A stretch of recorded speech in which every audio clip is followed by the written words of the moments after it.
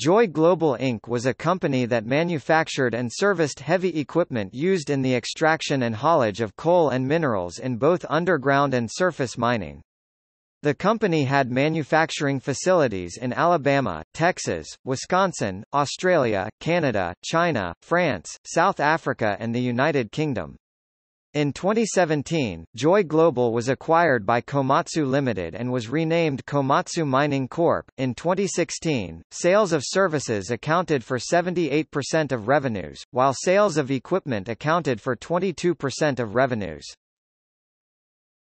Topic history The company had its beginnings in Milwaukee, Wisconsin. At the time, Milwaukee was a center of industrial machinery manufacturing at the convergence of three rivers entering Lake Michigan. Among the growing number of machinery manufacturing firms in Milwaukee in the 1870s was a struggling firm known as the Whitehill Sewing Machine Company.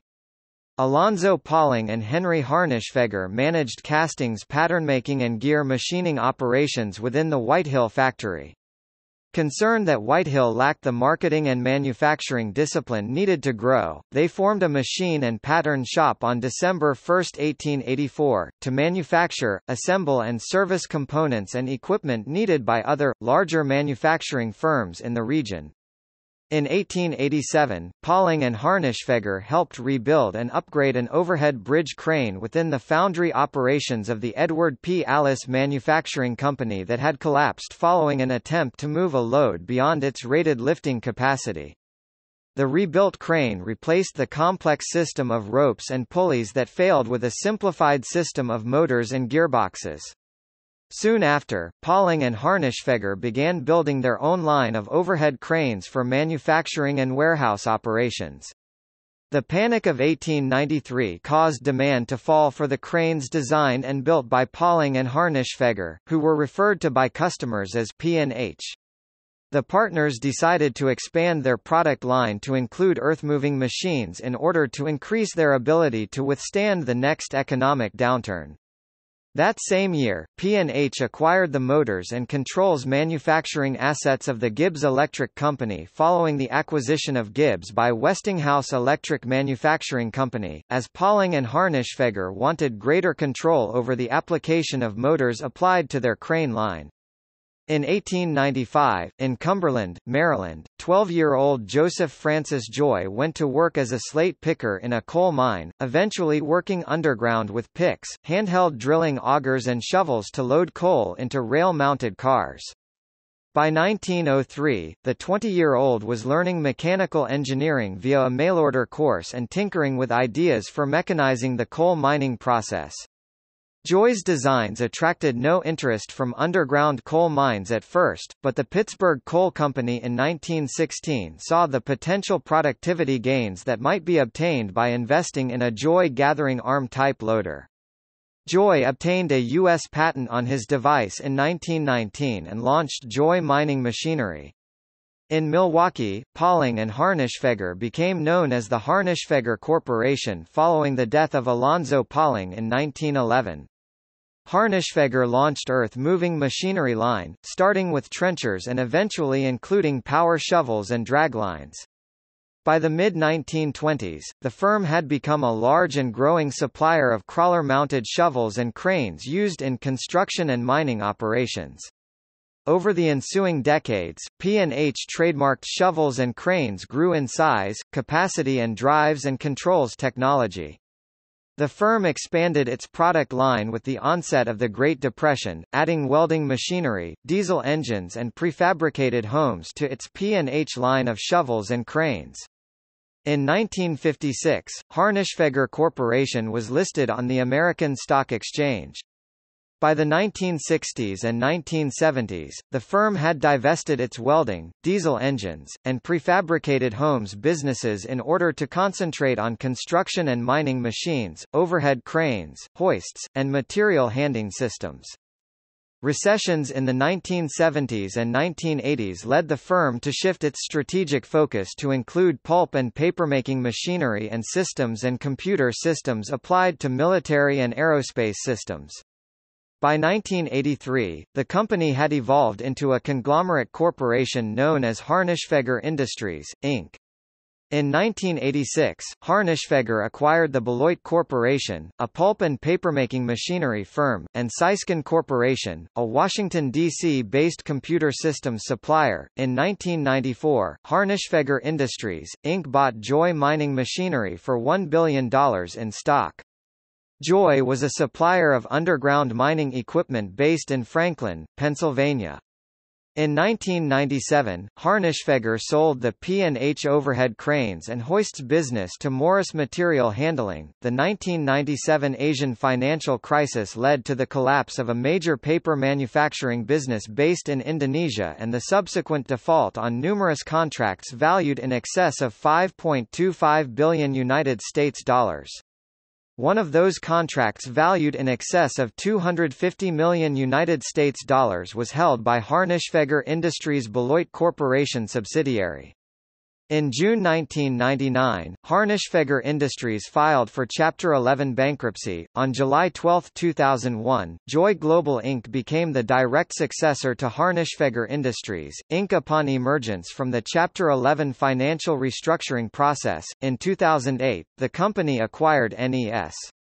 Investment Co., and its wholly owned subsidiary, Continental Crushing and Conveying CCC, a supplier of material crushing and conveying systems for surface mining operations. In 2011, the company acquired Letourneau Technologies, the mining equipment and drilling systems business unit of Rowan Companies. The acquisition expanded the scope of the company by adding high-capacity front-end loaders for mining operations. Later that year, Joy Global divested the Letourneau Drilling Products business to Cameron International. In July 2011, the company acquired a 41% stake in International Mining Machinery Holdings, one of China's biggest manufacturers of longwall mining shearers for extracting coal from underground mines, for 585 million United States dollars, with plans to obtain the remaining shares of the China-based mining equipment manufacturer through a tender offer.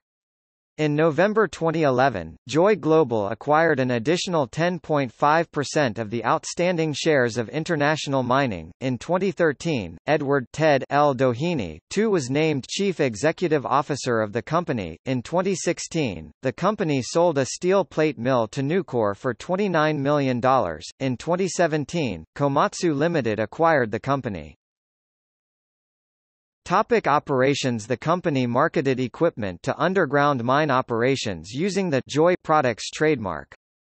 Surface mining equipment is marketed using the P&H products trademark. Joy Global's underground business received 90% of its revenue from coal projects and from the manufacture of underground mining equipment. In 2011, underground mining machinery accounted for 60.5% of Joy Global's revenue, excluding Letourneau, up from 60.3% in 2010.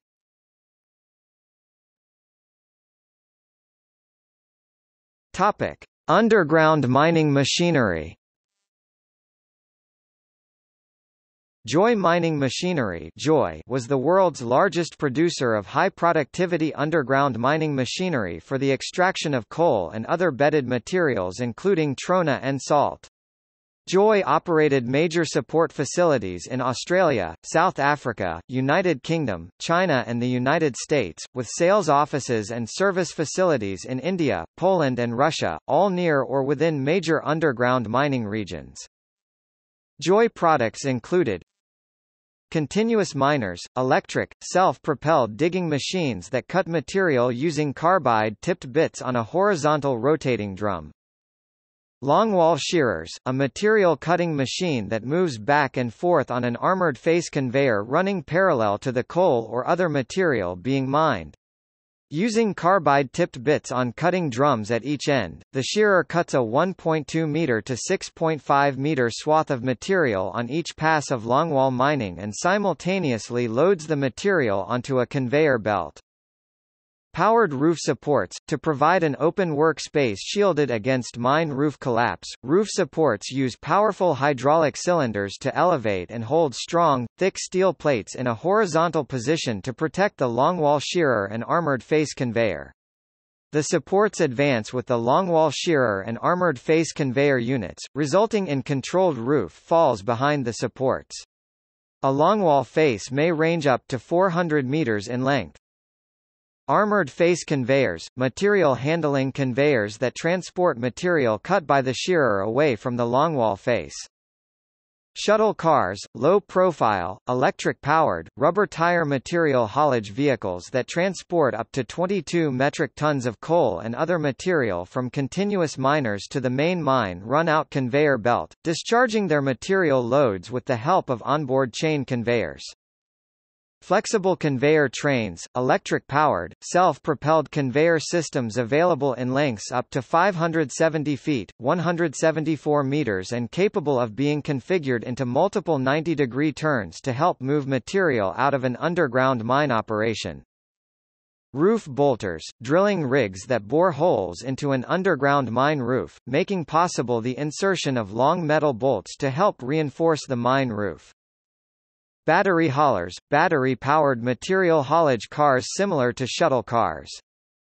Continuous haulage systems, unlike the pulsed, batch load throughput made possible by usage of shuttle cars and battery haulers, continuous haulage systems feature a connected series of bridge structures that utilize chain conveyors to obtain continuous throughput of material from the mine face to the main mine load-out conveyor belts. Joy Mining Machinery operated a global network of service centers and warehouses to help underground mining operations obtain high levels of equipment and mining systems reliability reliability and productivity.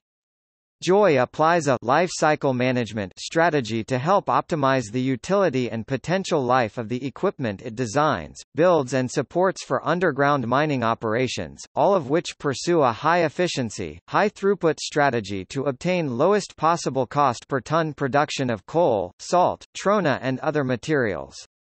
Life cycle management support includes 24-7 emergency repairs as well as preventive maintenance, performance-enhancing upgrades, rebuilds and relocations, and also remote health monitoring systems aimed at minimizing machine downtime through rapid diagnosis and correction of equipment faults and breakdowns. Topic surface mining equipment P&H Mining Equipment is a supplier of equipment and service support to the global surface mining industry. P&H shovels, drills and draglines are applied to copper, coal, iron ore, oil sands, gold, phosphates, molybdenum and diamond mining operations. P&H mining products include, electric mining shovels, with working weights in excess of 1,645 tons, 1,492 metric tons and powered by electric motors linked to planetary and case-type transmissions. P&H Electric can move up to 120 tons, 109 metric tons of material every 30 seconds from the mine face into the waiting tray of a nearby haul truck or in-pit crushing conveying system hopper. P&H shovel dippers range in size from 12 cubic yards, 9 cubic meters up to 82 cubic yards, 63 cubic meters. Blast hole drilling rigs, hard rock formations are typically found within surface mining operations and they must undergo drilling and blasting in order to fragment the rock for easier digging, crushing and refining processes within the mine operation. P&H blast hole drilling rigs apply either electricity or diesel power to obtain three forces needed to advance a tricone drill bit into hard rock, pull-down or downward bit loading force, high-torque rotary force, and large volumes of bailing air needed to cool the tricone bit and evacuate or push rock chips, particles and dust toward the top of the tubular blast hole. When a grid of blast holes has been drilled, each hole is loaded with explosives and then carefully detonated in order to shatter and fragment the rock formation with a high-energy shock wave. Drills typically work ahead of advancing shovel truck fleets in surface mine operations.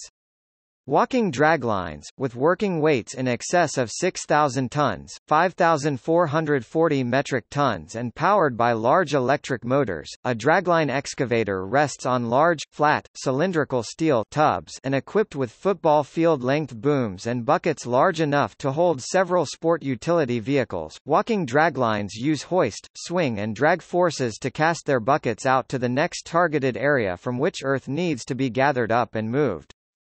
They then apply inward drag force to quickly load the bucket, and then hoist and swing forces to cast dump the material onto a nearby spoil pile. Draglines are used primarily to strip large volumes of overburden away from thick seams of coal. They are also a prime mover in phosphate mining operations. In-pit crushing conveying systems, P&H is developing in-pit crushing conveying systems that enable shovels to load a mobile mining crusher with material. That material is then relayed via a series of conveyors to spoil piles elsewhere in coal mine operations before the mine taps those spoil piles later on to reclaim mined lands. P&H Mining Equipment provides a network of P&H MinePro services mine operations service support workshops, warehouses and teams of mechanics, electricians and welders. MinePro provides life cycle management support for P&H and other brands of mining equipment.